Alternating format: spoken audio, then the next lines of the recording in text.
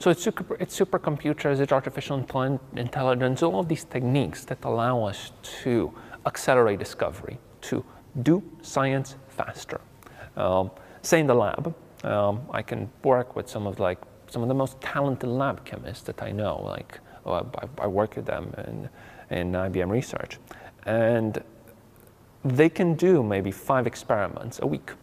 Um, they can do maybe 10 experiments a week. They can build autonomous labs and they may be able to do 100,000 experiments a week. Um, but if you manage to build a computer model um, so that allows you to replicate some of these experiments in code, that maybe allows you to do a million experiments a week.